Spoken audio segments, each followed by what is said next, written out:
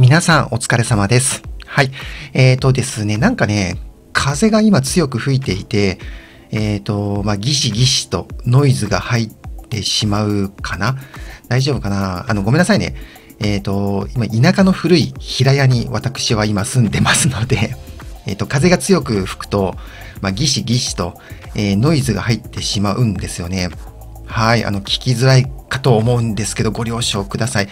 BGM のボリュームをちょっと上げれば大丈夫かな結構今ね、ギシギシって聞こえてるんですよね。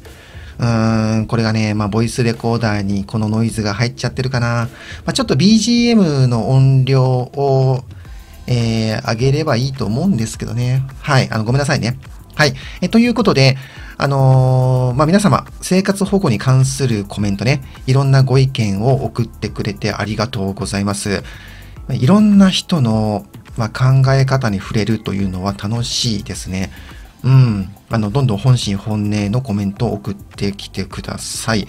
あの、皆さんが送ってきてくれるコメントというのは、あの、承認制になってますので、他の人に見られてしまうリスクはゼロです。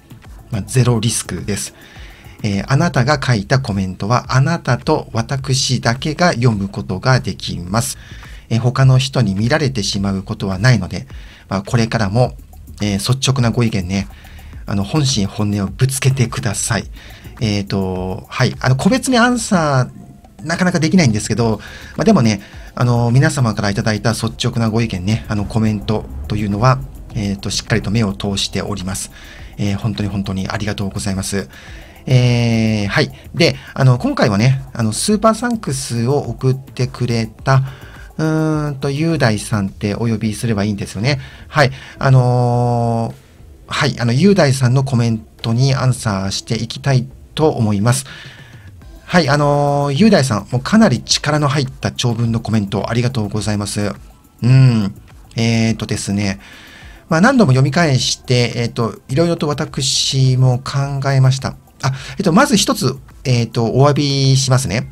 あの、肉体労働で頑張って働いてね、まあ、その生活保護の受給なんかしないで、まあ、どんなに、まあ、他人から底辺って言われても、うん、まあ、バカにされても、まあ、ひたすら肉体労働で頑張って働いていると。うん。で、あのーまあ、生活保護を受給しないで、まあ、底辺労働とか肉体労働で頑張ってる人を、まあ、私が、うーんまあ、そのディスるようなことを言ったと。まあ、そのようなあの受け止めで、まあ、ちょっとこう、雄大さんは不快になったっていうことね。えっ、と、ごめんなさいね。あの、私が、あまあ、肉体労働者、底辺労働者を、まあ、ディスってるっていうか、まあ、そういう人たちを否定している。あの、頑張って生活保護を受給しないで、頑張って頑張って生きている肉体労働者、底辺労働者を、まあ、私が承認しないで、否定して、うん。または、まあ、そんな仕事やったって何にもならないみたいなね。まあ、肉体、肉体労働とか底辺労働の先には不幸しかないと。まあ、そんな風な、まあ、こう、肉体労働者、底辺労働者を全否定するような、全然承認しないで全否定するような、あまあ、そういう発言をして、まあ、私がそういう発言をしてしまったということで、まあ、不快な気持ちになったっていうことですよね。あの、はい、もう素直にごめんなさいね。えー、うん。まあ確かに、まあ底辺肉体労働の先には幸せはないとかね、まあ、そういう表現をしちゃいましたよね。で、まあつまんないプライドは捨てろとかね、うん。まあ承認欲求なんか、まあ捨ててしまえとか、まあそういう、まあ極端な言い方をしちゃったよね。うん。だその生活保護をもらわないで頑張って肉体労働をやってる人を否定するような発言を、まあ、してしまったと。うん。まそれから、えっ、と、まあその肉体労働に従事してる人たちの中には、まあいろんな考え方があってね、まあその肉体労働にプライドを持ってる人もいると。まあにもかかわらず、そんなプライドを捨てろとかね。うん。で、まあ、あまあどんな仕事であっても、まあ誰かの役に立ちたいっていう思いがあると。まあだから、承認欲求を持って働いて一体何が悪いのかっていうことなんですけど、うん、あの、そうだね。あの、まあ承認欲求は確かに悪くはないよね。うん。誰もが認められたいと願うもの。うん。どんな仕事であっても誰かの役には立っている。だとするならば、あの、承認、えっ、ー、と、承認欲求を持って、え、頑張って生きる。まあ、頑張って仕事をする。悪くないでしょっていう、まあ、そのご意見もよくわかりました。うん。えっ、ー、と、まあ、臨床心理学の、ま、基本を無視したような発言を私がしたっていうことだよね。えまあ、その、えー、相手に寄り添うと。まあ、今まで私は臨床心理士、あの臨床心理学の基本っていうのは相手に寄り添うことって、え、何度も何度も言っておきながらあなたは寄り添ってないと。うん、わかりました。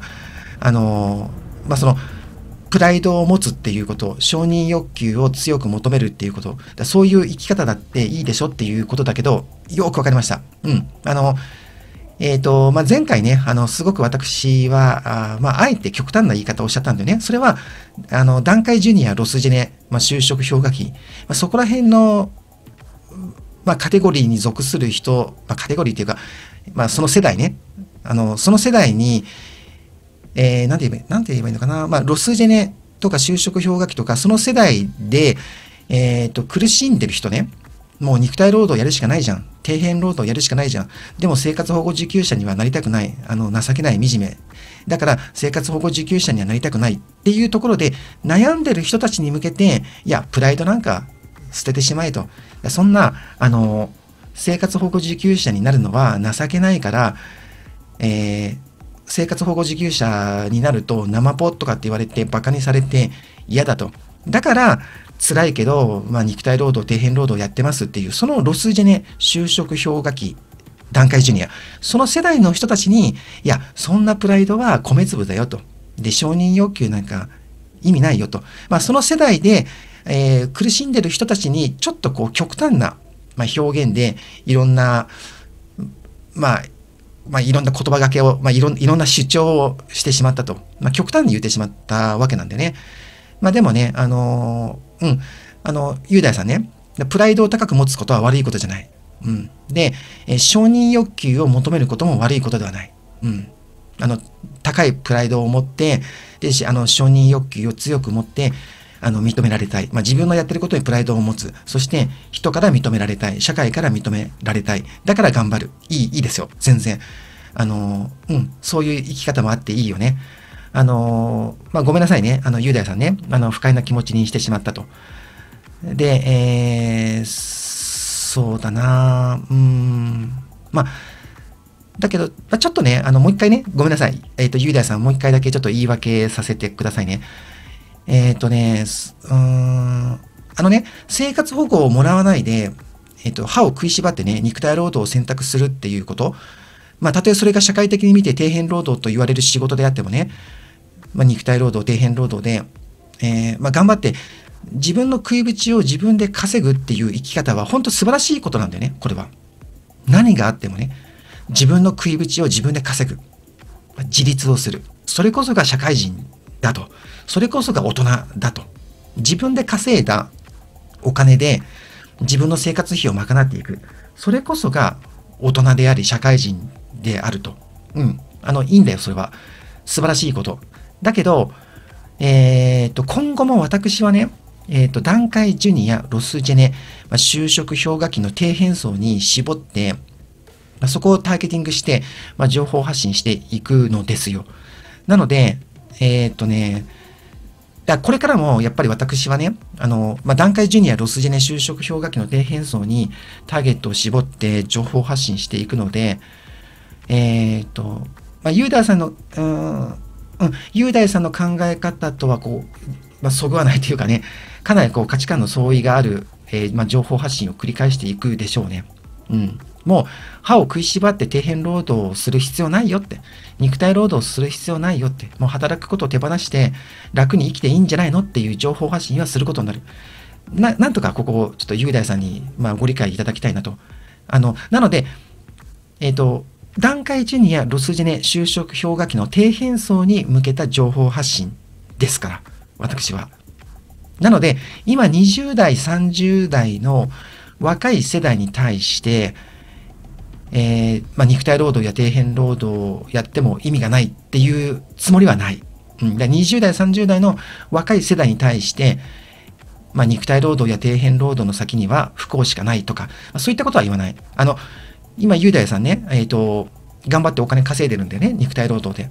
だから、雄大さんのような若い世代ね、まあ、えっ、ー、と、まあ、特に20代から30代ミドルまでかな、まあ、20代から30代ミドルまでの、あの、若い世代は、えっ、ー、と、まあ、今、肉体労働、今、底辺労働でも、まあ、将来ね、まあ、何か大きいことをやり遂げる、まあ、そういう夢とか希望はあるよね。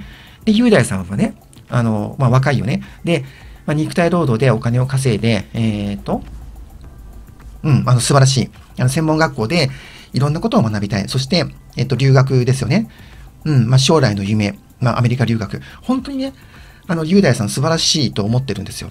だから、その、学校でいろんなことを学びたい。その、まあ、学費を、専門学校の学費を稼ぐ。そして、えー、ゆくゆくはアメリカに留学して、いろんなものを学んでいきたい。で、そのために、あの、掛け持ちで肉体労働をやってる。すっごくね、あの、光り輝いて見えるんですよ。あの、雄大さんはとってもすごいなって。うん。本当に、これからの日本を背負っていく、輝ける若者って思ってますよ。雄大さんのこと。ま、いろんなご苦労はあったと思うし、あのー、うん。もうこんな年齢だけどって雄大さん言ってるけど、でも20代ですよね。20代後半。いや、あのー、20代後半、全然若いですよ。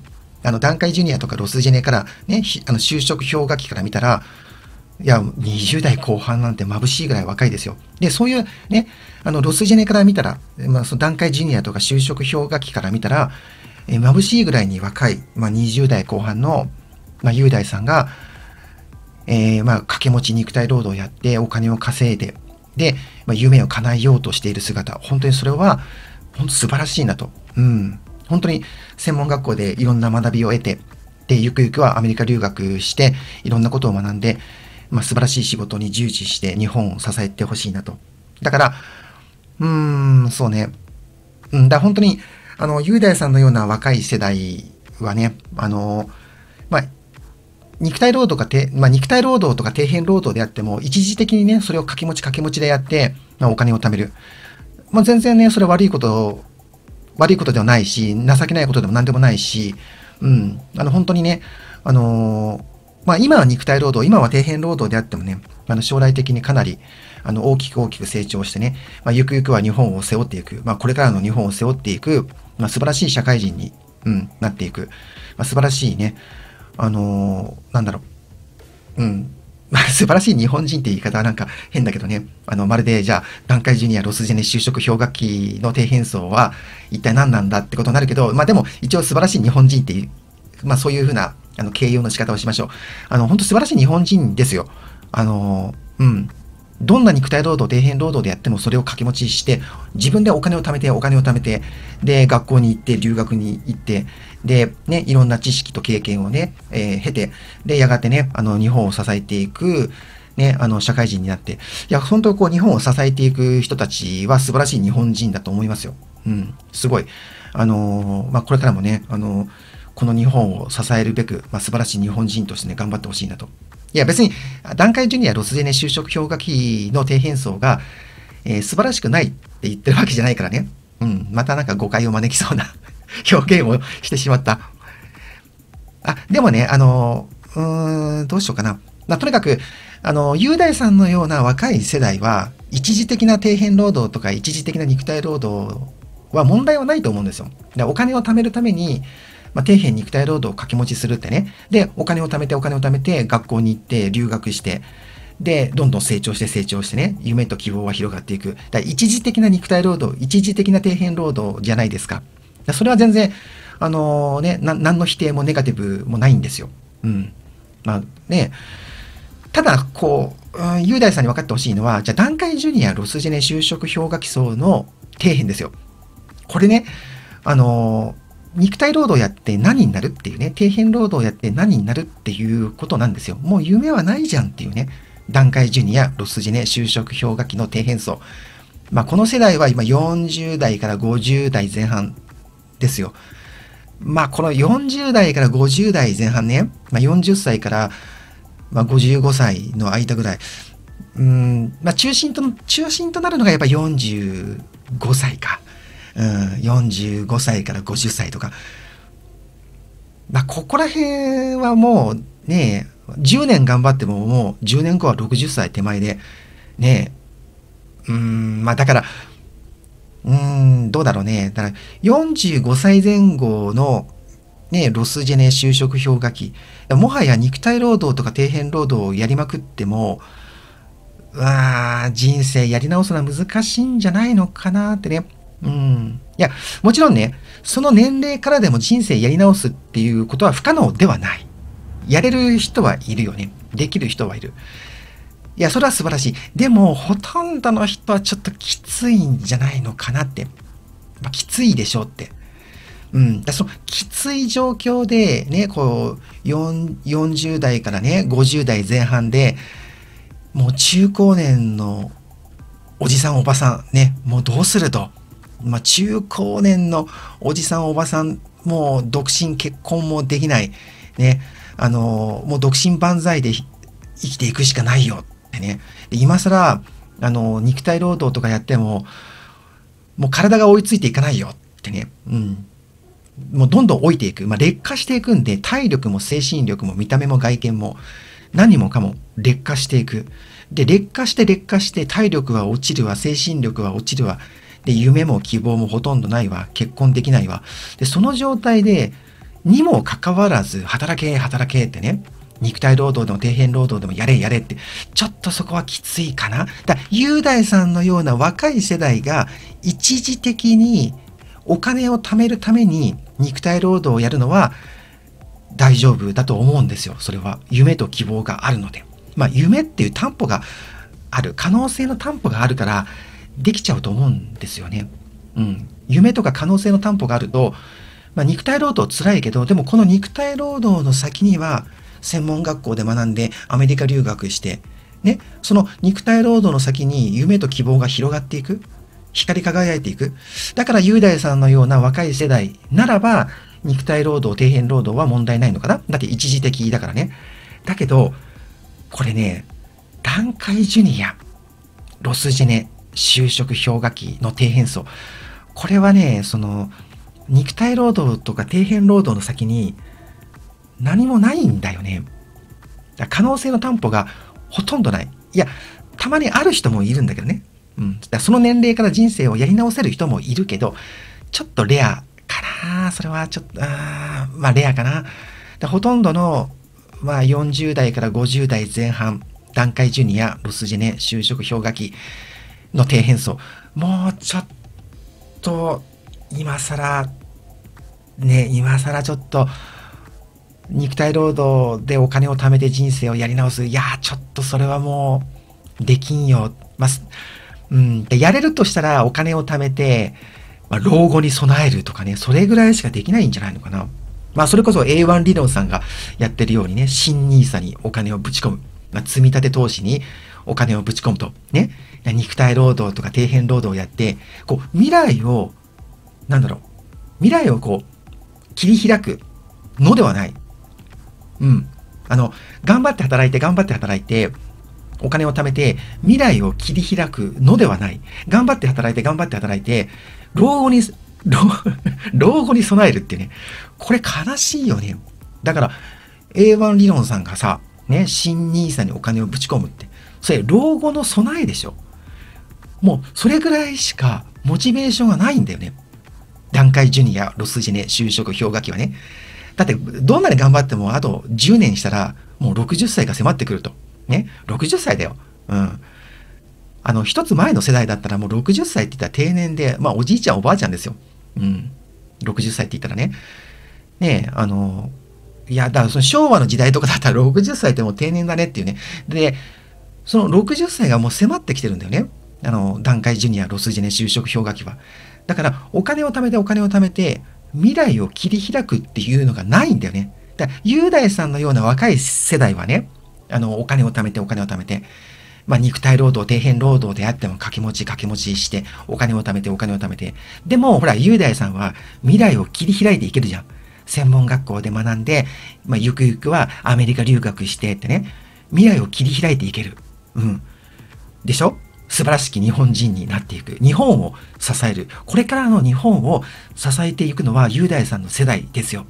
ね、もう素晴らしき日本人ですよ。これからの日本を支えていく素晴らしい日本人。いや、もう頑張ってほしい。だけど、段階ジュニア、ロスジェネ、就職氷河期っていうのは、これはさ、お金をじゃあ貯めてさ、肉体労働掛け持ちして、お金を貯めて、お金を貯めて、で、何になるのって。未来の切り開きはないんだよ。もう段階ジュニア、ロスジェネ、就職氷河期は、もうないのよ。もう彼らができることって老後の備えぐらいですよ。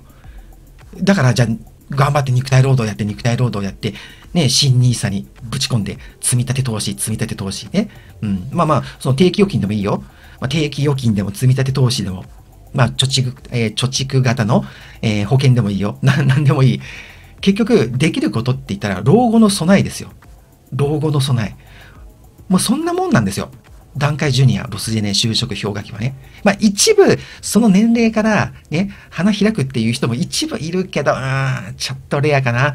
ほとんどの段階ジュニア、ロスジェネ、就職氷河期は、もう、まあ、もうね、まあ、頑張って働いてお金を貯めても、老後の備え。まあ、老後破産したくないよ。老後破産嫌だから積み立て投資しますとかね。老後破産が嫌だから、えー、まあ、定期預金頑張りますとか、その程度なのね。これ辛いでしょ。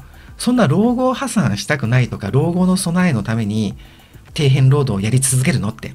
それきつくないって。じゃあ生活保護受給者になれば、ね、あの、医療扶助とか介護扶助ってあるよって。生活保護で生きればもう労働を諦めて労働を手放して、で、まあその最低限かもしれないけど、生活保護受給者が、まあね、こう社会で生きていくための、なんだろう、受け取れる恩恵っていうのは、最低限かもしれない。うん。まあ、所詮は生活保護でしょって言われたら、それまで。でも、最低限であっても、路頭には迷わないんだよね。生活保護だったら。うん。だって医療扶助があるんだもん。とりあえず病院には行けるよね。で、介護扶助だってあるし、まあ、特別養護老人ホームになりますよ。あの、生活保護受給者が最終的に行ける介護施設っていうのはね。まあ、介護施設の中では底辺だよね。うん。で、まあ、病院でも、あ、生活保護受給者なんだっていう、まあ、そういう目で見られますよ。確かに。だから、生活保護受給者が受け取れる、まあ、社会的な恩恵というのは最低限であるには、うん、生活保護受給者が受け取れる社会的な資源というかね、もう社会的な恩恵、まあ、生活保護受給者が受け取れるのは最低限といえば確かにそうですね。うん。でも、路頭には迷わないの。病院でも介護施設でも。ね。どんなに馬鹿にされても、うん、どんなに蔑まれてもね、どんなに低く見られても、所詮生活保護受給者かっていう目で見られても、それでも路頭には迷わないんだよ。だって医療扶助があるんだもん。だ病院からすれば、まあ、前回ロイヤルカスタマーって言っちゃったけど、確かにそれはおかしな表現だったね。うん、それはね。うん。まあでも、病院からすればさ、医療費が払えないっていう状態にはならないじゃん。でしょ？生活保護受給者って。医療扶助で守られているから。だから、その、まあ、ロイヤルカスタマーっていうのはちょっとね、あの、誇張した表現だったんで訂正します。でも、あの、えっ、と、生活保護を受給していない貧乏人と比べたら、生活保護受給者の方が上、これは。うん。その生活保護を受け取らない、ね、生活保護をもらわないで、頑張って頑張って生きている、まあ、貧乏な人、貧困層。まあ、申し訳ないけど、そういう人たちは、病院からすれば、ちょっとこれ、医療費ちゃんとこの人払えるのかなっていう目で見られちゃうよ。ね、生活保護は受け取ってません。一生懸命頑張って働いてます。じゃあ、じゃあ70代、80代でできる仕事といえば、キングオブ底辺、警備員ですよ。ね。じゃあ70代の警備員、80代の警備員ね、頑張って働いている。うん。まあ、どんなにキングオブ底辺と言われても、警備員やってます。ね。交通誘導の警備員やってます。頑張ってます。まあ、素晴らしいよ。素晴らしい。ね、あ70代で、まあ、キングオブ底辺の仕事をやって、ね、80代で、あ交通誘導の警備やって素晴らしい。まあ、生活保護は私はもらいません。私は働いてます。素晴らしいけど、病院から見たら、ちょっとこの人大丈夫かなって、ちゃんとこれ医療費賄える？大丈夫？って、そういう目で見られちゃうの。でも、働いてない生活保護受給者。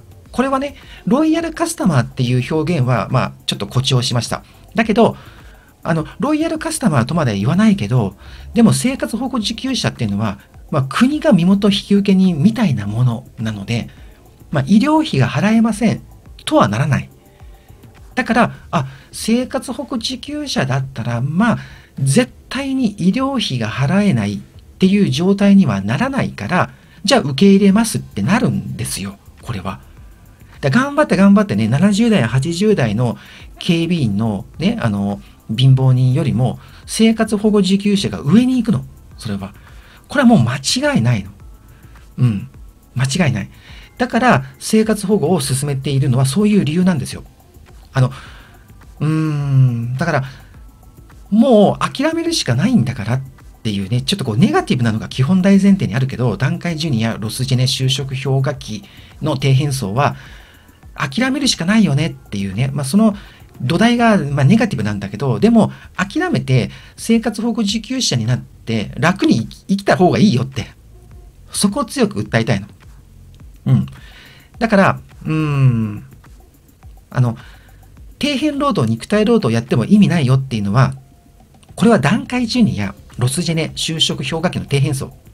そこに伝えたいんですよ。うん。うん、分かっていただけますかね。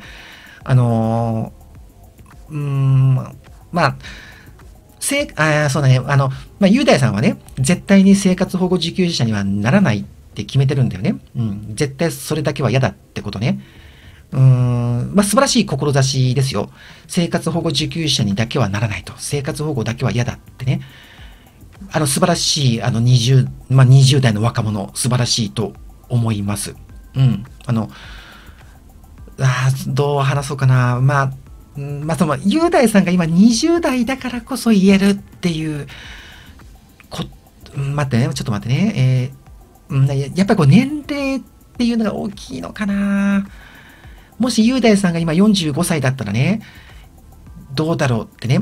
まあその、もし雄大さんがいわゆる段階ジュニアロスジェネ就職氷河期の、時代にね、こう生まれ育って、で、今、今現在の年齢が45歳で、それでも、えー、生活保護だけは絶対嫌だって言えるかな？うん、どう、どうかな？あのね、うん、えっと、段階ジュニアロスジェネ就職氷河期の底辺層は、もう可能性の担保がほとんどないんだよね。まあ一部その年齢からでも人生やり直すことができる人いるけど、一部ね、相当レアな人。でも、まあ、トップ1%って言っておきましょうか、そういう人はね。やっぱ99%ね、段階ジュニア、ロスジェネ、就職氷河期の底辺層ね。うん、底辺層。これはもう99%可能性の担保はない。うん。未来の可能性はない。99%は。うん。だから、じゃあもう諦めていいんじゃないのってことを伝えたいのですよ。うん。そこに向けて、あの、私は声を大にして伝えたい。労働を諦めて、いいんじゃないの？段階ジュニア、ロスジェネ、就職氷河期底辺。ね、もう諦めていいんじゃないの？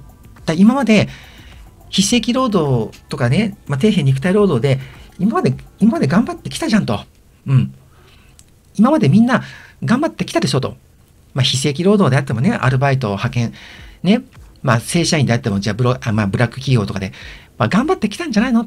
うん。で、税金だってそこそこ納めたでしょって。もう頑張ってきたよね。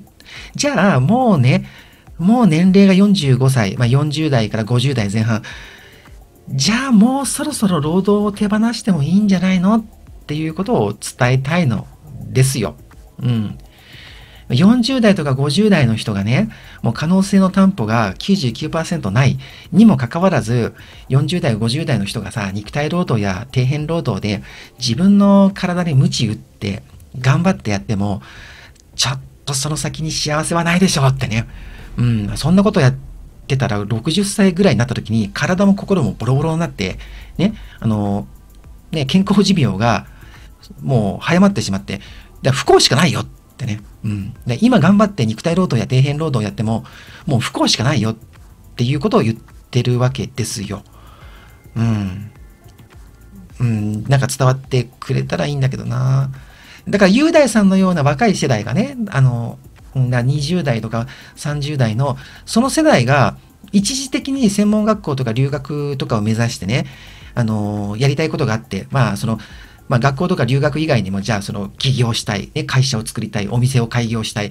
そういう、ね、あの、夢があって未来を切り開くために、一時的に肉体労働、底辺労働をやるのは OK なんですよ。それはいいんですよ。うん。だけど、もう可能性の担保が99%ないんですよ。段階ジュニア、ロスジェネ、就職氷河期の底辺層は。ないんですよ。もう、うん、もう老後のことを考えてるんですよ。ね。まあね。だ新ニーサとかさ、ね、老後のことを考えて積み立てとかね。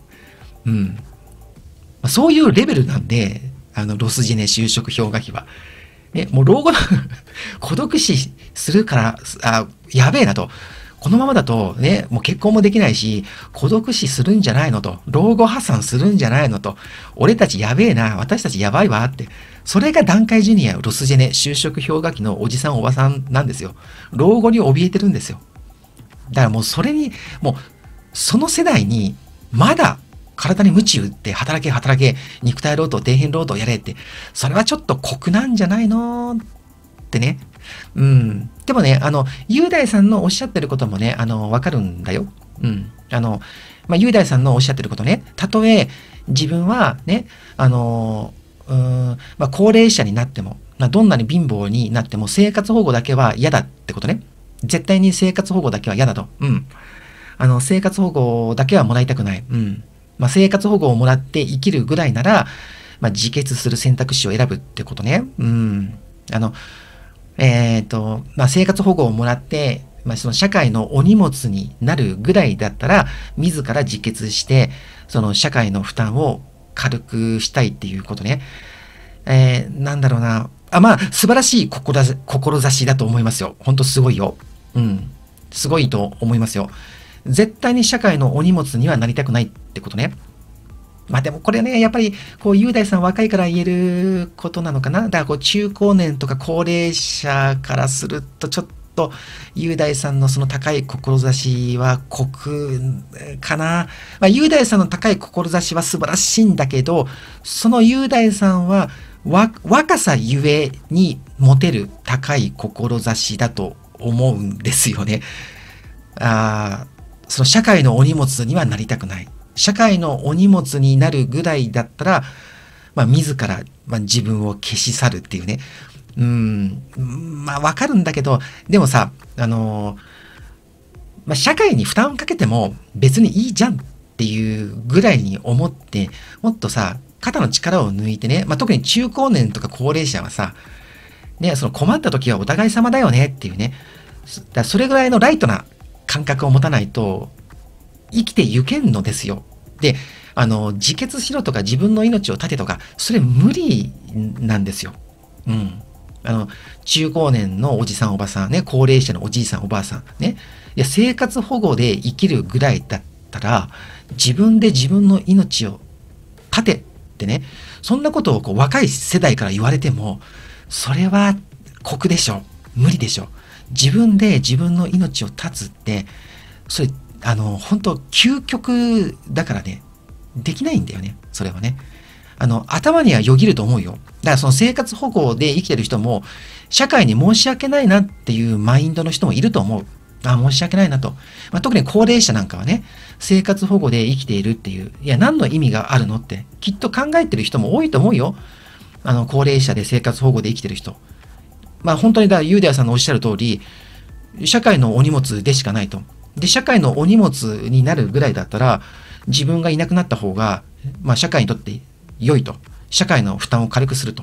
じゃあ、社会のお荷物になっている、まあ、その生活保護受給者の自分は、じゃあ命を絶ってしまおうかっていうことは、だそういうことを考える人はいると思う。あの、特に高齢者ではね。まあ、でも、自分で自分の命を絶つっていうのは、頭によぎってもね、実行はなかなかできんのですよ、それは。うん。まあ、それは高齢者であっても、追い先短い高齢者であっても、自分で自分の命を絶つっていうことはね、なかなかできんのですよ。うん。まあ、その生存本能っていうものがあるので、うん。だどんなに高齢者であってもね、まあ、その高齢の生活保護受給者であっても、生存本能があるから、できんのですよ。だからこれさ、反出生主義の人だって自分の命を絶つことできないじゃん。でしょ？うん。だからその反出生主義者ね。まあ、人間なんて生まれなければいい、存在しなければいい、ね。あの、存在していることイコール苦しみ。で、それは悪ってね。そういう考え方の人ね。反出生主義者。でも、彼ら彼女たちだって、どんなに反出生主義であるっていうことを主張しても、じゃああなたね、今すぐ、あの、いなくなって、自分の命を絶ってって言っても、いや、ちょっと無理ですと。そうなんだよ。無理なんだよ。生存本能っていうのが凄まじい恐怖心を呼び起こすんだよね。うん。怖いよって。死ぬってものすごく怖いよって。そその瞬間、ものすごい想像を絶する痛みっていうのがあるよ。で、その後、宗教的な観念ってみんな持ってるから。自分で自分の命を絶つと、もしかすると、まあ、地獄に落ちるんじゃないのとか、または、えー、っと、まあ、仏教的な輪廻の考え方っていうのかな、あの、そういうことをしたら生まれ変わってもっと辛くなるとか、まあ、ちょっとごめんなさい、仏教についてはあの詳しくないんで、何とも言えないけど、でも、えー、まあ、そのキリスト教においては、自分で自分の命を絶つっていうのはものすごい罪だからね。それ地獄落ちるよって。で、そこら辺をね、やっぱり、あのーえっ、と、なんか具体的なその宗教の信者ではなくてもね、あの別に宗教を信じているってわけじゃなくても、宗教的な観念ってみんな持ってるから、なんか死後の世界が怖いんだよね。だから具体的にこの宗教を信じてますというわけではない。ね、あの、いや、私は何の宗教も信じてませんとかね。えー、まあ私は無神論者ですとか、まあそういう人であってもね、いや神様とかね、悪魔とかないでしょう。天国とか地獄ってないでしょうとか、そういうことを言ってる人であっても、なんとなく死んだ後って何かが起きるんじゃないのかって想像するんだよね。だから死んで無になる。何もなくなる。ね、永遠の眠りっていう風な、そこに焦点が向かっちゃう人もいるけど、だけど、死んだ後になんか世界があるんじゃないかって考えたりもする。やっぱり宗教的観念を持ってる人の方が多いのかな。そうすると、あの、怖いんだよね。うん。自分で自分の命を絶つと、その後、その後の世界で恐ろしいことが起きるんじゃないかとかね。だから、あの、死ぬ瞬間の激しい痛み、恐怖。そして、その後、死後の世界がもしあったらどうなっちゃうのっていう、その恐怖心がある。だから、自決なんかね、簡単にできないのですよ。うん。自分の命を絶つなんて簡単にできないのですよ。だからちょっとね、あの、まあ、雄大さんのおっしゃってることは、生活保護受給者の中高年や高齢者にとっては酷なんだよね。うん。うん、ちょ、だから、重すぎる。あの、社会に負担かけても別にいいじゃんと。うん。だし、社会のお荷物でもいいじゃんってね。今まで頑張ってきたんだもん。今まで頑張ってきたんでしょって。ね。頑張って、まあ、非正規労働であってもさ、ね、アルバイトとか派遣とかさ、そんなんであっても頑張って働いてきたじゃんと。ね。で、税金だって、ね、お金持ちと比べたら大したことないけど、でも頑張って税金も納めてきたじゃんと。まあね、あの、不十分だと言われるかもしれない。周りからはね、あの、いや、あなた全然努力してこなかったねと。あなた人生怠けてきたねと。まあ、その、周りからはそういう評価されてしまうかもわかんない。だけど、自分は自分なりに頑張ってきたじゃんと。辛いこともあったし、どうすることも、自分ではどうすることもできないことがたくさんあった。いろんな運が悪いこともあった。まあ大体ね、なんで自分はこんなね、家庭に生まれてしまって、こんな環境に生まれてしまって、ね、あの、まあそれ、それこそ就職氷河期っていうね、まあ、そういう時代に生まれて、生まれてきてしまって、で、いろんな辛いことがあってね。うん。まあもちろんその言い訳、それ、それって言い訳でしょっていう要素はもちろんあるよ。あの、で、私もね、あの、就職氷河期には厳しいこと言ってるよ。うん。あの、言い訳ばっかりするなよって。うん。大学に行けなかったのはあなたの責任でしょ？ね。あの、非正規労働はあなたの責任でしょって。まあ、私も厳しいことを言ってるけど、でも、本人は、いや、運が悪かったって思い込んでるかもしれない。で、そういうことってたくさんあってさ、ね、運が悪かったとかね、あの、辛かったとか、ね、あの、出会う人、出会う人、本当にひどい人ばっかりだったね、あの、いろんな職場に行ったけど、最低な職場ばっかりだったとかね、うん。まあ、家庭環境も学校の環境も職場環境も人間関係も全てがもう良くなかったっていう人もいるでしょう。うん。まあ、もちろんそこに対して自己責任とかね、言い訳するなっていうツッコミはあるけども、でもその人はその人なりに頑張ったかもしれないじゃん。ね。で、頑張って頑張って生きてきて、ね、もうそろそろ楽になりたいっていうことを認めてあげてもいいじゃんって、私は言いたいんですよ。雄大さん。あの、ここら辺分かっていただけますだからもう社会に負担かけても別にいいじゃんと。もう頑張ってきたんだから、もう楽になってもいいんじゃないのっていうね。どう、どうですかね。うーん、そうだな。だ自立に対するマインドは必要なんだけど、だ雄大さんの考え方は本当素晴らしいと思うよ。本当にね。あの、生活保護受給者にだけはなりたくない。生活保護だけは嫌だっていうね。社会のお荷物にだけはなりたくないっていうね。うん。社会に迷惑だけはかけたくないっていう。その考え方は素晴らしいよ。うん。まあ、どんな時であってもね、どんな環境であっても、まあ、人は自立すべきっていうマインドは、本当素晴らしいと思うよ。うん。本当に、うん。まあ、その自立に対するマインドは本当素晴らしいと思ってる。本当に思ってるんだよ。本当すごいね。でも、うーん、なんとかこう、雄大さんには分かってほしい。まあ、その、まあ、若い世代の人たちにはね、分かってほしいな。まあ、結構こう、10代、20代の若者は、やっぱりね、あの、段階ジュニア、ロスジェネ就職氷河期の底辺層のことを、なかなかこう、まあ、理解できないところがある。まあ、でも、その人生をやり直す道がほとんどない。もう99%可能性の担保がなくなってしまった。まあ、そんな段階ジュニア、ロスジェネ就職氷河期の、まあ、底辺層のことを、まあ、理解してほしいなってね。うーん、ダメかな。もう無理なんだよね。もう、無理なんだよ。段階ジュニアの、ロスジェネ就職氷河期の底辺層は。うん、まあ、例外的に1%ぐらいね、まあ、そこ、そこから頑張って未来を切り開くことができるっていう、まあ、こう1%の例外はあるかもわかんないけど、まあ、99%はもう無理でしょ。だから楽にさせてあげたいじゃん。うん。段階ジュニア、ロスジェネ、就職氷河期の底辺層。もう楽に生きていいんだよっていうことを伝えたいわけですよ。ね。だって、段階ジュニア、ロスジェネ、就職氷河期の底辺層だって、税金納めてきたんだよ。ね。彼ら、彼女たち。うん。だ非正規労働が中心だったとしても、でも、頑張って、ね、彼ら、彼女たち、税金を納めてきたんだよ。じゃあ、もうそろそろ、労働を手放して、ね、あの、彼ら、彼女たちが生活保護でね、楽に生きてもいいんじゃないのって、もう結婚できないよ、結婚しないよ、独身だよ、独身万歳だよって、もう独身で生きるしかないねって、ね。もう、もう結婚っていう道はもうないんだと。ね。じゃあ何のために頑張るのって。もう何にもないじゃんって。もう独身なんだからって。で、これから頑張って一体何になるって。ね、もう60歳が迫ってきてるよって。もう何にもできないよって。99%可能性の担保はないよって。で、どんどんどんどん劣化してる。体力も落ちて、精神力も落ちて、ね、もう外見も見た目も体力も精神力も何から何まで劣化していく。どんどんどんどん劣化していく。可能性の担保はほとんどない。未来に夢も希望もほとんどない。だったらせめて労働ぐらい辛い辛い肉体労働、底辺労働、それぐらい手放して生活保護で楽に彼ら彼女たちが楽に生きてもいいんじゃないのっていうことなんですよ。どうでしょうか、雄大さん。分かっていただけます？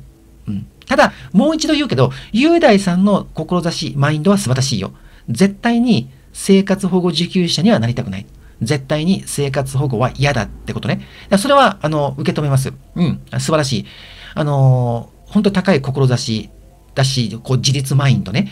あの、雄大さんのその自立のマインドは素晴らしい。だから絶対に生活保護は嫌だっていうね。あの、その、えー、マインドは、あの、受け止めます。わかりました。あの、雄大さんの絶対に生活保護だけは嫌だっていう、あの、うん、その、えー、自立マインドは受け止めます。うん、そのご意見、その志、素晴らしい。だけど、あの、弱き者に対する、うーん、まあ、理解も示してほしいな。段階ジュニア、ロスジェネ、就職氷河期の底辺層。もう可能性の担保、99%ない。未来の夢、希望、99%ない。何もない。ないないない。で、劣化してるんですよ。若い雄大さんはこの劣化がまだわかんないと思う。だけど、もう40代、50代はどんどんどんどん劣化していくんだよね。その外見、ルックスも劣化する。もちろんね。どんどん老けていく。ね。ああ、もう本当におじさんだな、おばさんだなってね。どんどんどんどん劣化していく。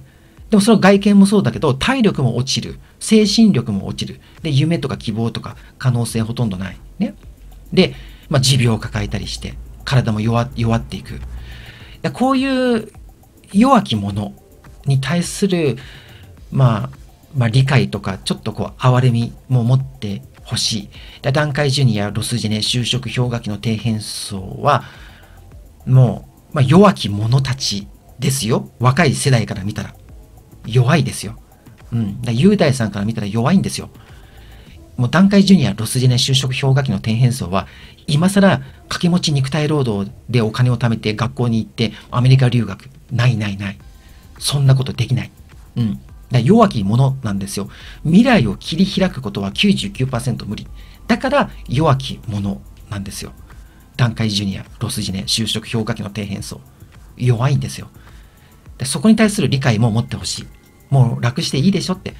今まで頑張って頑張って非正規労働で税金だって納めてきた。じゃあ、今まで納めてきた税金を返してもらうっていう、そういうロジックでもいいじゃんって。生活保護でね、楽に生きてもいいでしょって。もう労働を手放して、辛い肉体労働を手放して、もう体は劣化している。心も劣化している。もちろん見た目だって劣化している。どんどん劣化劣化して、で、今後どんどんいろんな持病が出てきて、もっともっと劣化していく。ね。だったらもう、ね、もう結婚しないんだから、一生独身万歳で生きるんだから、だったらもう労働を手放してもいいじゃんって。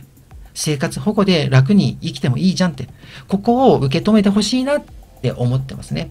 はい。で、えっ、ー、と、雄大さんね。で、もう一つのご質問の大きな論点というのは、日本国憲法、えっ、ー、と、27条だよね。うん。ここ難しいね。まあ、全ての国民は、えー、勤労の権利を有し、義務を負う。ここね。うん。まあ、この、まあ、生活保護の問題を語る上で絶対無視できないんだよね。日本国憲法第27条。すべての国民は、勤労の権利を有し、義務を負う。はい。まあ、ここについて考えていきましょう。うーん。まあ、雄大さんの解釈では、まあ、ちょっと待ってね。えっ、ー、と、雄大さんの解釈では、まあ、日本国憲法で国民は勤労の義務を負っている。うん。日本国憲法で国民は勤労の義務を負っているので、え働かない人間には生存権を与える必要はないっていうことを言いたいんですよね。そうですよね。えー、っと、と、と、うん。あの、まあ、雄大さんね、すごくいろんなことを書いてくれてありがとうございますね。さすがに、あの、長文なんで全部ね、こう読み上げることはできないんだけど、まあ、でも、雄大さんがおっしゃりたいことは、生存権と、まあ、勤労の義務は紐づいているっていうことでしょ？うん。うん。うーん。だ働かない人間には生存権は必要ないっていうことなんだよね。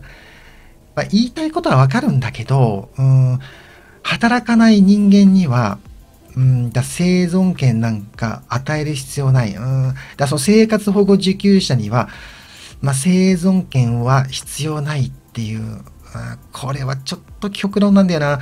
それを、うん、だから、第二次世界大戦でね、あの、第二次世界大戦の時のドイツのあの人も同じようなこと言ってるわけですよ。だ働かない人間、まあ、もしくは働くことができない人間、まあ、社会的弱者ね。うん。だ働くことができない人間に生存する資格はないっていうね。それ、ドイツのあの人が言ったでしょ。だそれと同じことになっちゃうのね。働かない人間には生存権は必要ないよって。だって働かないんだったら、そんな人間には生存権を与えないって。これはちょっと厳しすぎるのですよ。うん、雄大さん。これは、殺伐とするよ、それ、そういうふうなロジックで生きると。うーん、あの、まあ、雄大さんがおっしゃりたいことはわかるんだよ。あの、労働の義務を放棄する人ね。働くことを放棄する人。えー、働かないんだったら、じゃあホームレスになれっていうことを言いたいんだよね、雄大さんは。労働の義務を果たさない人というのは、じゃあ生存権もないよと。労働の義務を手放す人は、まあ、生存権も手放せっていうことね。だから、働かない人間は生活保護ではなく、ホームレスとして生きろっていうことだよね。そうだよね。ゆだその雄大さんのコメントをね、読んでると、あの、働かない人間は、えっ、ー、と、生活保護ではなく、ホームレスになれっていうことをやっぱりね、書いてるよね。うん。もちろん言いたいことはわかるんだよ。あの、その、だその雄大さんは生活保護は絶対に嫌だっていう立場なんで。うん。だから、働かないんだったら、ね、その国から生活保護をもらって生きるのではなく、働かないんだったらホームレスになれっていうことをすっごくね、あの、強く訴えたいんだよね。気持ちはよくわかる。だけど、うーん、どうしようかな。ちょっと待ってね。難しいな。うーん。まあ、その雄大さんのおっしゃりたいことはよくわかるんだけど、受け止めるよ。受け止め、受け止めてるよ。だけど、だけどね だけどもだけど、ああ、そうだな。やっぱりね、働かないからといって、生存権を奪うわけにはいかない。それは。うん。で、えっ、ー、と、まあ、雄大さん、うんと、日本国憲法第27条にこだわっていたので、えー、そうだな。まあ、ちょっとじゃあ憲法について話しましょうか。えー、まあ、その憲法とは一体何なのかについて考えていきましょうか。うん。まあ、その日本国憲法第27条ね、すべて国民は勤労の権利を有し、義務を負う。ここをどう解釈するかっていうことですよね。すごく重要なことなんだよな、これ。あの、憲法っていうのは一体何なのか。ね。憲法の基本大前提。何ですか、憲法って？まあ、憲法って一体何ですか？いや、憲法というのは日本国の最高法規ですよ。そうですよね。最高法規なんですよ、憲法というのは。すべての法律に優先する。うん。すべての法律に優先する。だから最高法規なんですよね。うん。最高の法律の規定である憲法、最高法規。じゃあ、その憲法っていうのは、誰を縛る、えー、まあ、決まり事なんでしょうか。憲法って一体誰を縛ってるんですかね。すべての法律に優先する、ね、最高法規なんですよね。徹底的な縛りをかけるんですよ、憲法っていうのは。憲法の縛りっていうものを、あの、破ることは許されない。どんな法律も。うん。もし仮に、その憲法の趣旨に反する法律があれば、それは全て無効になる。それが最高法規である憲法の、まあ、最強の縛り。じゃあ、憲法は何を縛ってるの？国を縛ってるわけでしょ？国を縛る法法法規です。最高法規です。国をぐるぐるに縛り付けるんです。特に、えー、国民と直接対峙する行政機関を徹底的に縛るんですよ。憲法っていうのは。うん。だから、公務員っていうのは、ね、公務員っていうのは、あの、奉仕者なんですよ。国民に奉仕するのが公務員なんですよ。これ、まあ、憲法に書いてますけど、うん。だその、まあ、市役所の職員さんも、ね、まあ、警察官も公務員なんですよね。国民に、一般市民に奉仕する立場にあるんですよ。うん。だから、あの公務員とか行政機関をぐるぐるに縛り付けるのが憲法なんですよ。ここすごく重要で、なので、その公共の福祉に反しない限り、憲法は国民を守るための法規なので、憲法が国民の、えーと、行動とか言動を縛ることはありえない。ただ、唯一公共の福祉に反した場合だけ、まあ、憲法は国民に牙を向く。まあ、唯一の例外。まあ、公共の福祉に反しない限り、憲法は絶対に国民に牙を向くことはない。だ憲法が国民を縛るってことはまずありえない。憲法が国民を裁くとかね、憲法が国民を縛るっていうことはないんですよ。ないんですよ。絶対に。公共の福祉に反しない限りね。うん。憲法が国民を縛ることはない。絶対ないんですよ。ありえない。憲法は行政機関を縛ります。行政機関に対してぐるぐるぐるぐるぐるってね、縛りをかける。でも憲法は国民を縛ることはないんですよ。ない。じゃあ、憲法27条。え、国民は勤労の義務を負う。これ何って。憲法が国民に対して、え、勤労の義務を負う。働けって、これ縛り上げてないって。これ勘違いなんですよね。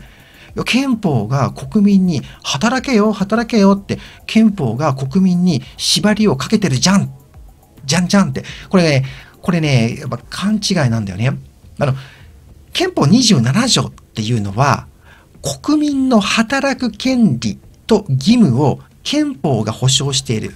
まあ、行政機関が保障しなさいよと、国とか地方公共団体がね、国民の働く権利と義務を国、地方公共団体がちゃんと保障しなさいよっていうことを言ってるんですからね。だ憲法27条っていうのはね、これは国、地方公共団体、行政機関、公務員に対して言ってるの。わかります？働く権利と義務を保障しろよっていうことを国に対して、地方公共団体に対して憲法は言ってるんです。うん。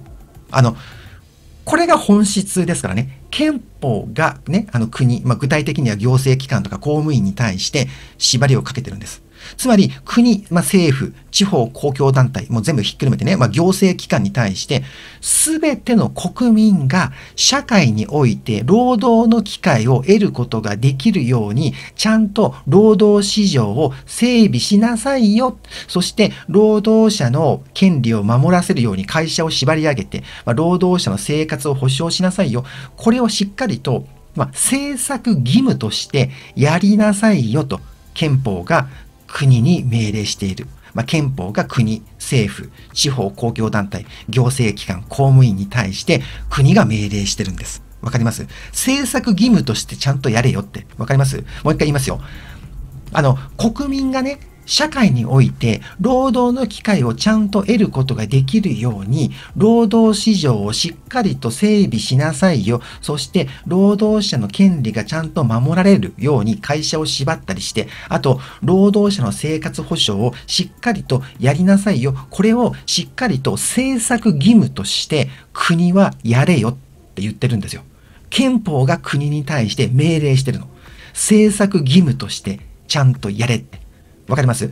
国民が、ね、働きたい人がちゃんと労働の機会を得ることができるように、労働市場を整備しろ。ね、労働者のまあ、人権とかね、まあ、生活を保障しろ。これを政策義務として国はやれって。憲法が国に命令している。まあ、国、政府、地方公共団体、行政機関に国が命令してるんです。ね、国民の働く権利を守るために、えー、まあ、具体的にじゃあそれ何って言われると、あだから、あれですよ。職業安定法とかね、まあ、雇用対策法とかって法律がありますよね。あとは、まあ、障害者雇用の促進法とかね、まあ、いろいろありますよね。あとは、労働者の生活保障とかでは、うん、まあ、その雇用保険法とかありますよね。うん。まあ、まあ、そういうことですよ。これを政策義務として国はちゃんとやれよって憲法が国に命令してるんですよ。まあ、ここら辺の話は特に問題はないのかな。で、一番問題提起されるのが、まあ、えー、まあ、勤労の義務だよね。うん。まあ、これはね、うーん、どう説明しようかな。憲法27条はあくまでも、えっ、ー、と、労働に関する政策義務を国、行政機関に求めているものなんですよ。いいですか？あの、憲法第27条っていうのは、あくまでも労働に関する政策義務を国、行政機関に求めているものなんですよ。なので、あの、じゃあその勤労の義務を負わない人、ね、働かないっていうね、まあ、俺は無職だっていうね、私はニートよっていう。で、そういうね、まあ、まあ、生活保護受給者もそうなんだけど、働かない、ね、働きません。で、まあ、働くことができないっていう人も含めてね、だからその、えー、まあ、自ら無職を選択する。ね、うん。働きたくないでござるってね、うん。まあ、A1 理論さんもよく言ってるじゃないですか。働きたくないでござるってね。まあ、自ら無職を選ぶでござるってね。うん。俺は無職だってね。私はニートよってね。で、まあ、そういう人もいるし、あとは、えー、まあ、高齢者であるがゆえに、またはその障害があるがゆえに働けないとかね、まあ、生活保護もそうだよ。生活保護受給者もそうだよ。で、で、そういう人たちには、ね、働かないっていう人、まあ、その、えっ、ー、と、勤労の義務を負ってない人に対しては、じゃあ、えー、27条における政策義務を講じる必要はないですよっていうことを言ってるの。大丈夫ですか？もう一回、もう一回説明しますね。日本国憲法第27条というのは、これはあくまでも労働に関する政策義務を憲法は国に求めてるんですよ。ね？労働に関する政策義務、さっきいろいろ話しましたよね。あの、まあ、国民が社会においてまあ、労働の機会を得ることができるように、労働市場をちゃんと整備しなさいね。あとは労働者のね、あの人権とか生活を保障しなさいね。とかね。だから職業安定法とかね、雇用対策法とかちゃんと作りなさいよってね。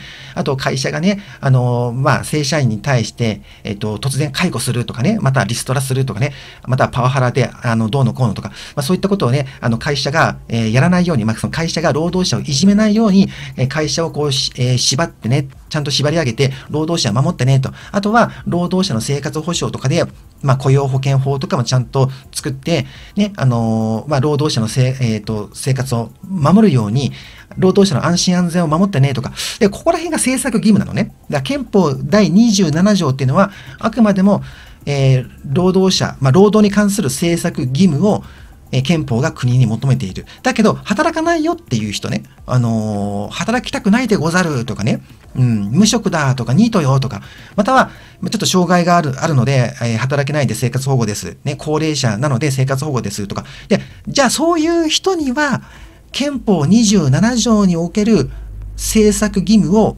国は講じる必要はない。そういう人には、つまり、勤労の義務を負わない人に対しては、じゃあそういう人には、えっ、ー、と、国は、えー、まあ、27条における政策義務を講じる必要はないってこと。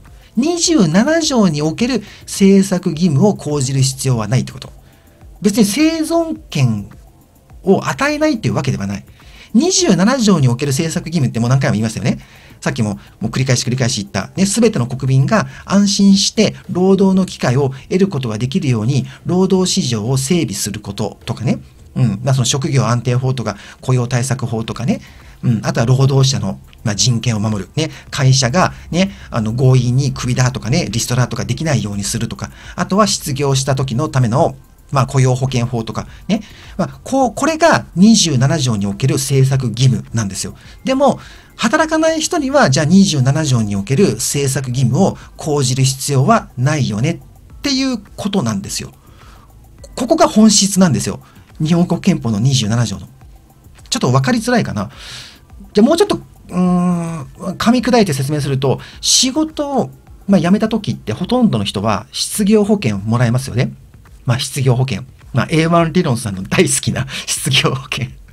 ね、派遣で働いて、ね、で、えー、辞めて失業保険をもらってゆっくりして、で、また派遣で働いて、ね、うん、ね、あの、失業保険大好き A1 理論さんね。まあ、だから、仕事を辞めた時ってほとんどの人がね、辞めた後、あの、あの失業保険をもらえますよね。で、その時にね、あの、えー、その雇用保険による、えっ、ー、と、失業給付をもらう要件ってありますよね。で、それ何ですか？ハローワークで給食活動するっていうのがありますよね。うん。だ失業、だ仕事を辞めて失業保険をもらうんだけど、その失業保険をね、給付する、えー、失業給付をもらう要件として、ハローワークで給食活動しないとあかんのですよ。で、これは何なのかと。ね。えっと、失業給付を与えるけど、その代わり、ハローワークで給食活動をしろよって国は求めてくる。これは何なのかっていうと、働く意欲がある人、だ勤労意欲がある人にだけ、行政は27条の政策義務を果たすっていう考え方なんですよ。だから、仕事を辞めても、いや、俺ももうしばらく働くつもりないっす。うん。もう働きたくないでござる。ね。ちょっとずっと無職、ね、ニートやるってね。だ休職活動しません。っていうのならば、あ、じゃあ失業給付を与えないよってことになるんですよ。で、これが、いわゆる日本国憲法第27条の本質なんですよ。わかります？ちょっとどうですかね？あの、これ以上ちょっと噛み砕くことできないな。あの、仕事を辞めても、いや、働くつもりないですよ。うん、もう、もう、ずっと無職でのんびりしますとかね。もうずっとニートをしますっていう人には、じゃあ行政も、じゃあ失業保険は与えませんよってことになっちゃうんですよ。なので、ま、ここら辺で分かっていただけます？あの、日本国憲法27条の本質っていうのが。難しいね。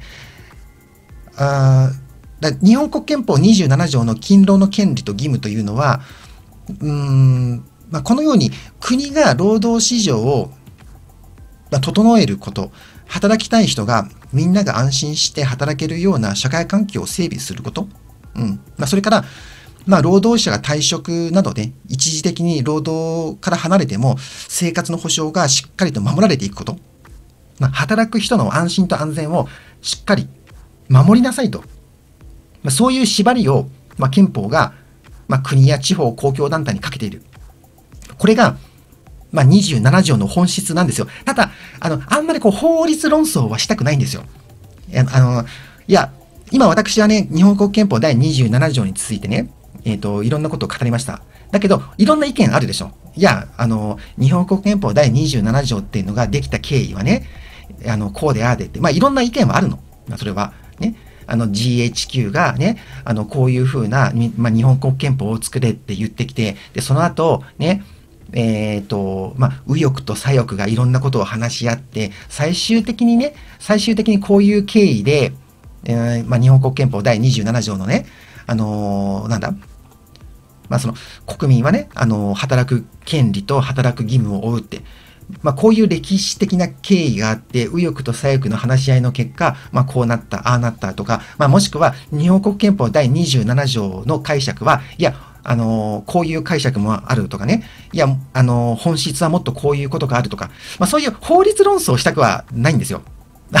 別に、それ、それはね、あの別にここ裁判所ではないんで、うん。あの、なんか日本国憲法第27条についてね、いや、こんな解釈があるとかね、いや、日本国憲法第27条の本質はもっとこういうことなんだとかね、まあ、もしくは日本国憲法27条のえー、まあ、作られた歴史的経緯っていうのは、こうである、ああであるとか、法律論争はしたくないんですよ。あの、意味がないんで、はっきり言って、法律っていうのは解釈なんですよ。法律っていうのは。だから、いろんな解釈があるんですよ。で、それ戦わせていても、あの、あんまり意味がないんですよ。結局裁判所で判決が下りなければ、ただ法律論争してるねっていうだけなんですよ。うん。なので、あんまりね、あの、ここで、えっ、ー、と、まあ、雄大さんには雄大さんのその日本国憲法第27条に対する解釈はあると思う。で、他の人もそうだと思う。で、私が今ここで日本国憲法第27条の解釈をしました。いまあ、いろんな突っ込みはあるでしょう。いや、それちょっと違うでしょうって。いや、憲法27条っていうのは、こういうもので、こういうことで、こういう解釈があって、こうでああでって。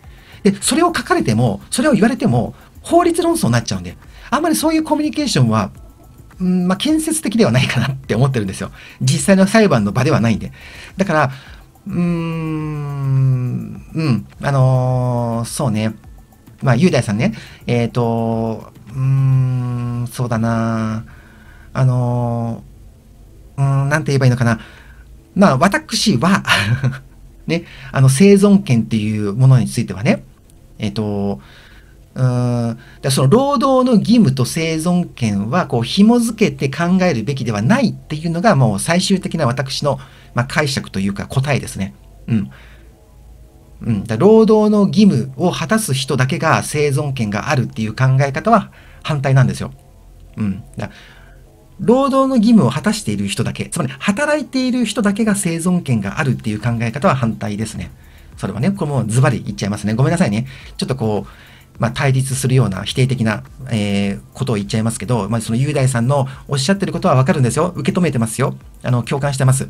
だけど、だけどね、だけどもだけど、あの、働かない人間というのは生存する資格はないのかっていうね。うん。その労働の義務を果たしてない人は、ね、あの、生存、生存権はないのかって、そんなことはないと。うん。生存する権利はみんなが持っている。働く、働かない、関係なく。うん。まあ、日本国憲法の解釈ってもたくさんあるんでね、もうどれが正解なのかわかんないけど、うん、でもね、もう繰り返しになっちゃうけどね、あのとにかく日本国憲法というのは、まあ、国とか地方公共団体とか行政機関とか公務員を縛るもの。だ日本国民を縛るものじゃないんですよ。うん。まあ、公共の福祉に反しない限り、日本国民を縛ることはないんですよ。絶対ないの。憲法が日本国民を縛るっていうことはない。裁くっていうこともない。これが重要なんですよ。だから、働かないからといって、日本国憲法が国民に鉄拳制裁を加えるっていう考え方はないってこと。うん。ない。だあの、勤労の義務を負っていない。ね、働いていない。うん。だからその、勤労の義務を果たしていない。ね。で無職とかニート、生活保護受給者。ね。働いていない。でも、働いていないからといって、日本国憲法がね、まあその、日本国民を裁くっていうことはありえない。うん。絶対に。働かないっていうことでね、あの、憲法によって裁かれるってことはないんですよ。うん。大丈夫かな？で、生存権に関しては、もうこれ日本人が日本国に存在しているだけで、まあ、無条件で認められるものでいいんじゃないのかな？それはね。うん。または日本国に存在しているならば、外国人であっても生存する権利は認められていく。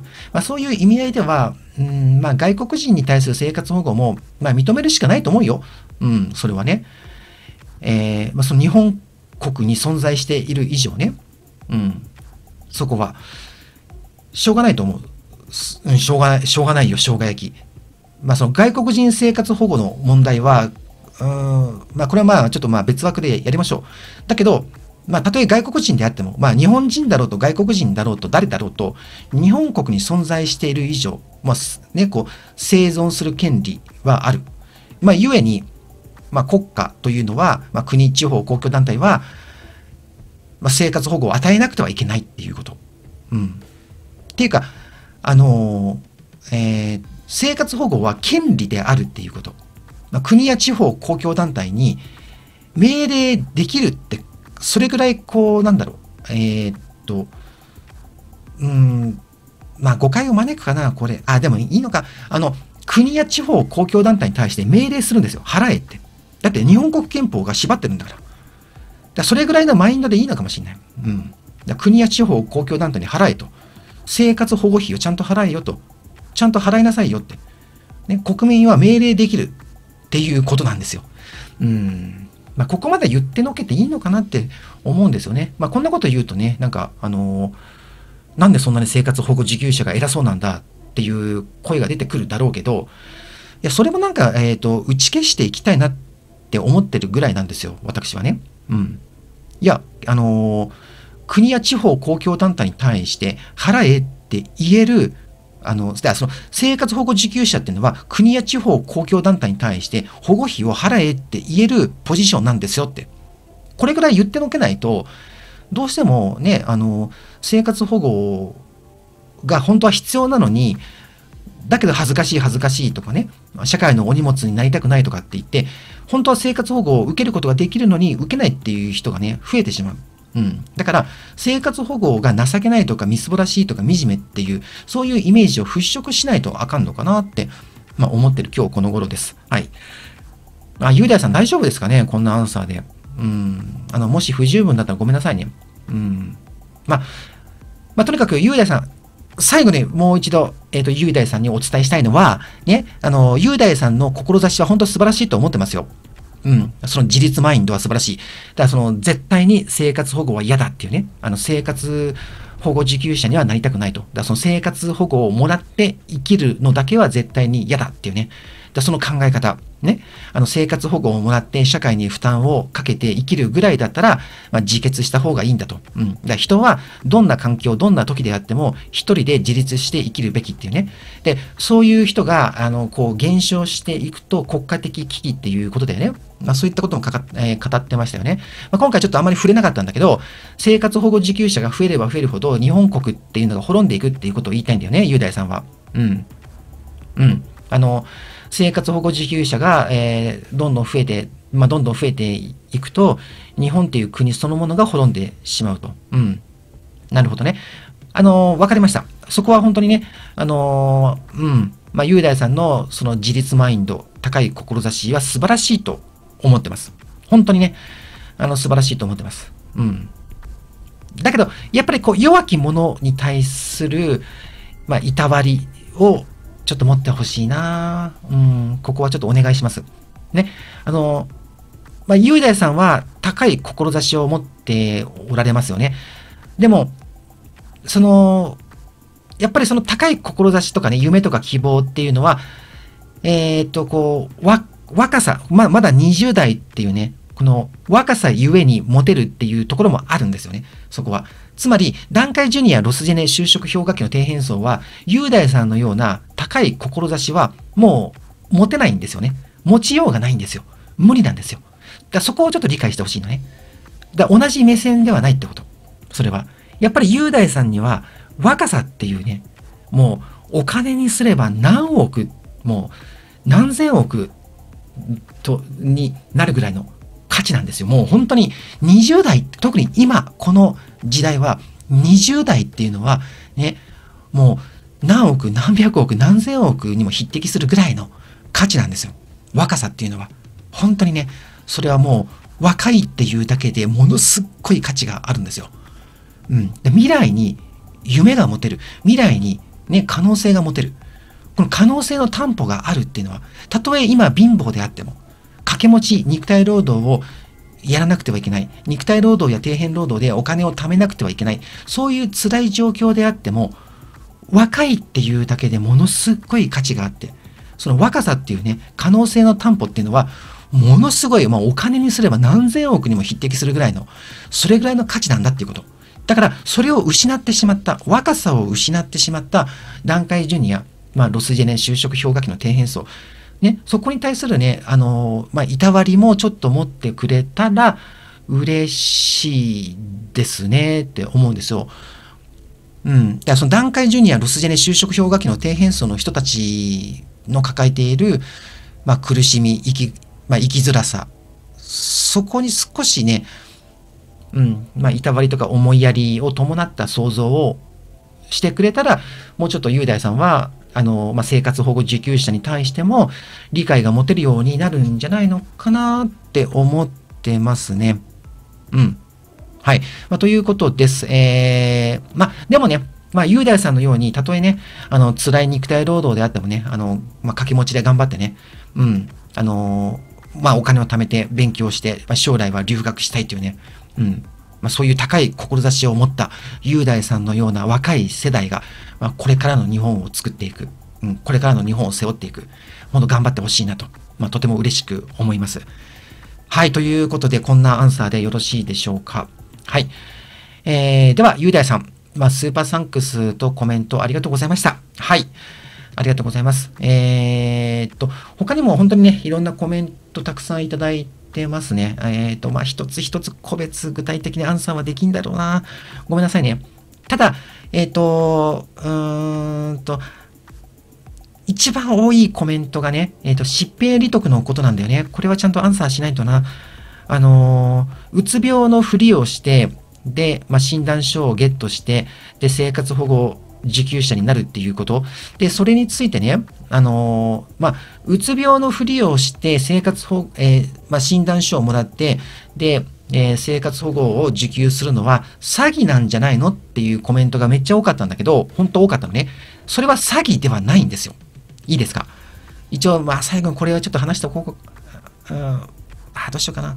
あまあ、これはちゃんとね、あの別枠で、あの、しっかりと、えー、音声動画1本作りますんで、まあ、だけど簡単に説明しておきましょう。いいですか？あの、うつ病のふりをします。ね、生活保護受給者になりたい。生活保護で生きていきたい。じゃあ、ね、うつ病のふりをしよう。ね、うつ病の診断書を手に入れよう。ね。で、あの、うつ病ではないのに、うつ病の症状を訴えて、で、精神科で、ね、診断書を受け取って、で、その診断書を引っ提げて、ね、生活保護を受給して、で、その後も、まあ、終了、えー、まあ、その稼働能力は自分はありません。はい。これ、うつ病の診断書です。ね。自分は精神障害者、メンタル疾患です。ね。まあ、だから、えっ、ー、と、まあ、ケースワーカーの就労指導とかがあってもね、あの、まあ、それをすべてごまかしごまかし、ね、働けません、働けません、はい、うつ病の診断書をね、で、そうやって何年も何年も、え生活保護を受給する。で、それが、そういう行為が詐欺なんじゃないのっていうコメントが本当多かった。それこれは詐欺ではないんですよ。なぜかというと、うつ病のふりをして病院の精神科で診断書をもらうっていうこと。それがもうすでに精神疾患だって。これ前回もちゃんと説明したと思うんだよね。あの、疾病利得を考えて疾病利得を実際に受け取ってるっていうのはもうこれも精神疾患なんですよ。これこそが抑うつ神経症であるがゆえにこういうことになっちゃうんですよ。だ憂鬱だからこそそういうふうな考えに及んでしまってそれを実行するんですよ。だから働きたくないっていうのは精神疾患だっていうこれは私の解釈ですこれは。これは私の解釈です。うん。働きたくないっていうのはもう一つの精神疾患です。働きたくないでござるっていうのは、あれは精神疾患なんですよ。ね。それは。抑うつ状態であるがゆえに働きたくないんだよね。で、働くことを考えると気分が悪くなる。ね、動けない。ね、朝起きれない。心が重くなる。ね。あのまあ、無理して頑張って職場に行ってもね、重い心を引きずって、だんだん体も重くなって、ね、憂鬱な状態、まあ、抑うつ状態が続いて、いや、立派なうつ病だよ。それで、うつ病で全然いいんだよ。だ働きたくないっていうのはうつ病なんだよって。ね。で、仕事を回避する。働かないで済むっていうことを考える。ね。それは回避性パーソナリティ障害でもあるし、ね。あの、まあ、社交不安障害でもあるし、まあ、適応障害って言ってもいいし。で、いくらでも、ね、あの、精神障害だったり発達障害ってことは言えるんだよ。それは。はっきり言って。うん。まあ、その自閉症スペクトラムからも説明できるし、そこは。だから、働きたくないっていうのは、精神障害であり、発達障害であるってこと。働きたくないっていうのは。だ怠け者っていうレッテルをもちろん貼られてしまうでしょう。働きたくない。わ、怠け者ってね。うん。まあ、その、まあ、社会通念上ね、まあ、そういうレッテルを貼られてしまう。でも、それは気にする必要はないってこと。だって、働きたくないっていうのは立派な精神障害であり、発達障害でもあるってこと。でほとんどの人が、そのね、まあ、メンタルほとんどの人が精神障害に罹患してしまっているにもかかわらず、それを自覚できずに頑張って歯を食いしばって働いているのかな今の日本でそういうような気がする。だこれなんで言えるかっていうと、今、今現在私がキング・オブ・底辺と呼ばれる底辺労働現場にいますから、見てるんですよ。同僚たちを。もうみんな限界ギリギリですよ。いいですか？あの、どの底辺労働よりも底辺と呼ばれる、キング・オブ・底辺の警備員の現場に、今私はいますから。で、詰め所と呼ばれるところで、ね、警備員がこう、ゾロゾロ、ゾロゾロ集まって、ね、時間を一緒に過ごす詰め所ってあるんですよ。で、そこで、いろんな人と私は会話してます。まあもちろんボランティア団体でもカウンセリングやってるし、ね、あの、実際にね、あの、キングオブ底辺の底辺労働現場でも、いろんな人の話を聞いてます。もう限界なんですよ。もうみんな精神障害ですよ。発達障害ですよ。でも自覚できてないの。だから歯を食いしばって、ね、もう本当に限界苦しい。だけど、耐え難きを耐え、忍び難きを忍び、歯を食いしばって、ね、本当にもう血の滲むような努力をして自分を奮い立たせて、我慢、辛抱、忍耐、忍耐、辛抱、我慢して、頑張って労働現場に来て働いてるんだよ。もう限界なんじゃないのって思ってるの。うん。だ生活保護で生きるっていう道を選んでもいいんじゃないのって。もう無理でしょと。で、こういうことを言うとね、だその疾病利得っていうのは精神障害であって、働きたくないっていうのは精神疾患であって、ね。だから、堂々と生活保護を受給すればいいと。で、これをどんどんどんどんね、あの、まあ私は言いまくってますけど、じゃあ労働現場から人がいなくなるって、まあそういうツッコミもあるけど、これもちゃんと別枠で話します。大丈夫です。外国人労働者が来ます。若い外国人労働者。ね。あの、いや、今中国からの外国人労働者は減ってるよね。だんだんベトナムからの外国人労働者も減ってるよねってよく言われるでしょやっぱり今まで外国人労働者のメインは中国だった。だけどそれが減ってしまった。で、最近ではベトナムからの外国人労働者も減ってるんじゃないのって言われてますよね。大丈夫です。新しくインドネシアから、えー、たくさん来ます。うん。で、インドネシアからたくさん来るけど、その後に控えているのが中東北アフリカです。これはもう避けられない。絶対避けられない。交通誘導の警備員に、ね、まあ、中東系の人、そして北アフリカから来ている黒人の、えー、外国人労働者、また増えてきてます。全部日本語学校へ、えー、留学するっていう、一応その、建前でね、えっ、と、日本語学校に留学できました。で、だけど、えー、週に1週間28時間働けるから、えー、アルバイトしてますっていう、そういう、えー、外国人留学生、まあ、実質外国人労働者、これが増えてます。これはもう無理、あの、もう避けられない。避けるのは無理。うん。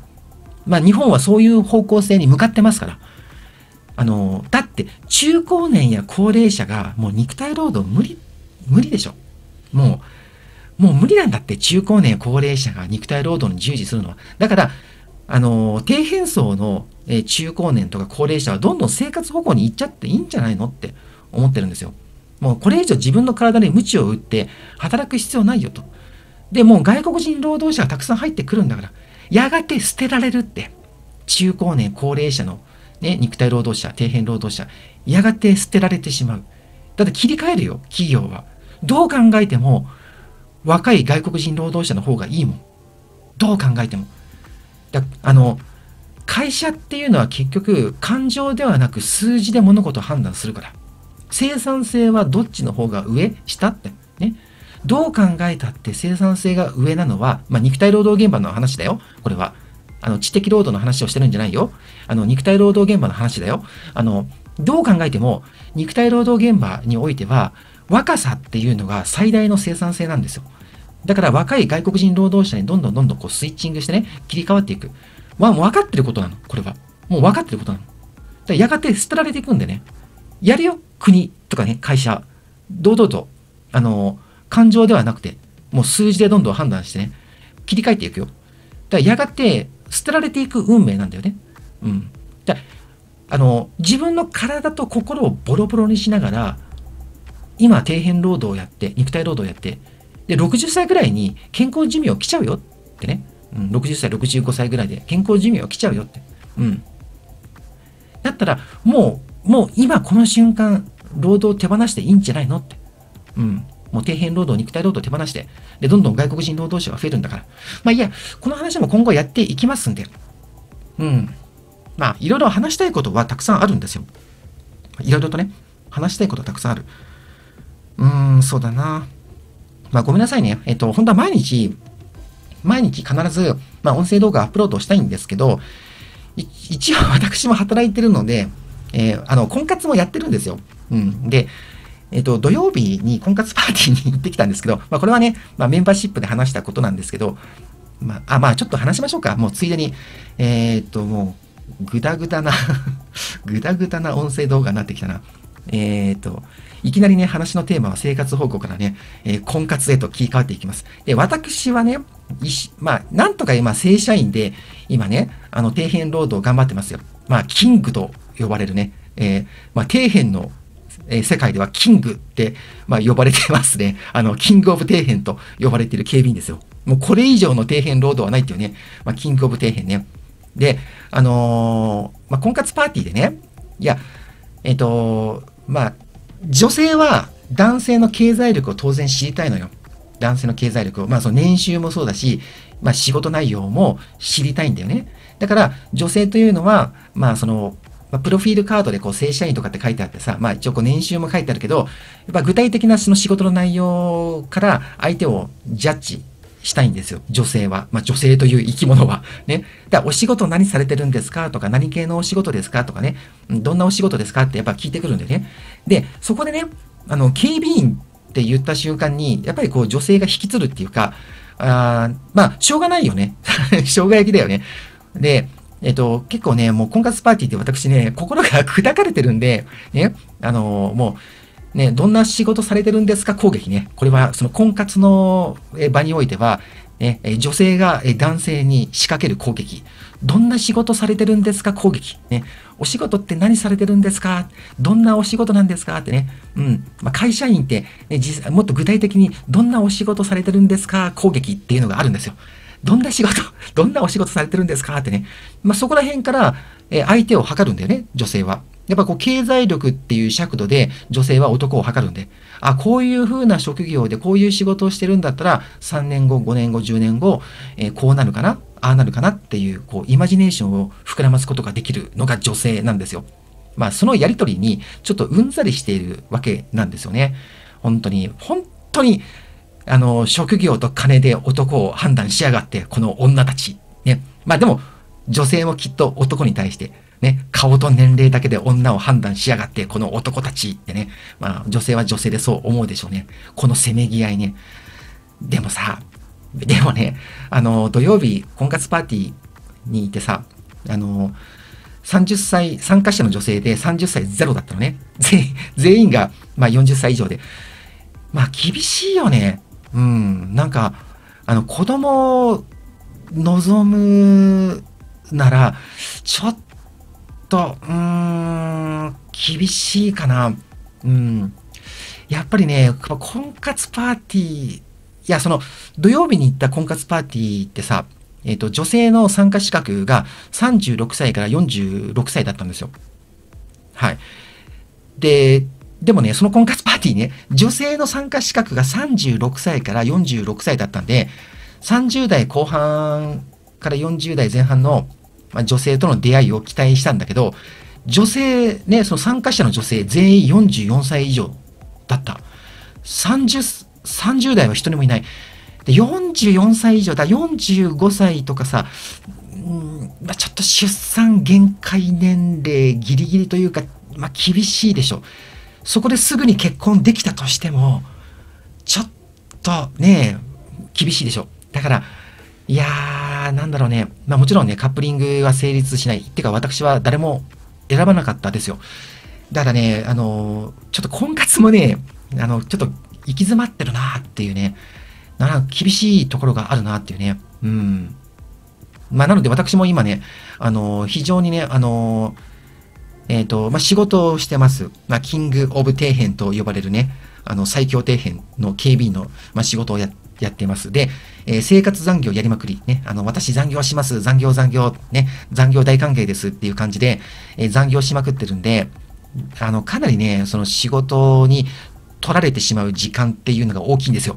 で、あと、えっ、ー、と、ボランティア団体からも、まあ、来てくれ、来てくれっていうね、まあ、オファーを受けて、ね、あの、まあ、どうしても私のカウンセリングを希望してるっていう人がいてね、うん、まあ、無料カウンセリングなんだけどね、うん、まあ、これがね、なんかね、こう、有料カウンセリングで私にこう、インセンティブとかが入るんだったら嬉しいんだけど、何にもないっす。ね、あの、無料のボランティアのカウンセリングです。まあ、でも、とはいうものの、私のカウンセリングを受けたいって望んでる人がね、いるって言われちゃうと、まあ、ボランティアの方には顔を出さなきゃいけないし、ね、1時間2時間でも顔を出して、で、そうやってね、まあ、仕事をしてボランティアもやってるんですよ。で、婚活もやってますんで、ちょっとなかなか時間が取れないんですよね。まあ、でも、えー、っと、うーん、まあでも、こう、一日一本ね、あのー、YouTube の音声動画、ちゃんとアップロード、ね、コンスタントにできればいいね。